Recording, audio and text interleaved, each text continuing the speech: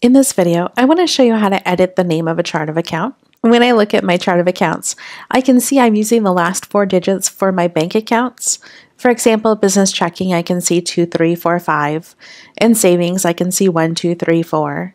In preparation for getting a secondary credit card, I realized that I want to add the last four digits for my Chase Visa.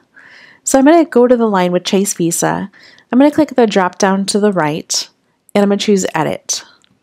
Now I've got Chase Visa and I can change the name and I'm going to add the last four digits for my pretend Chase Visa. In this case, 9876. I click on Save and Close. I can see that it's updated in my chart of accounts. I can see that right here.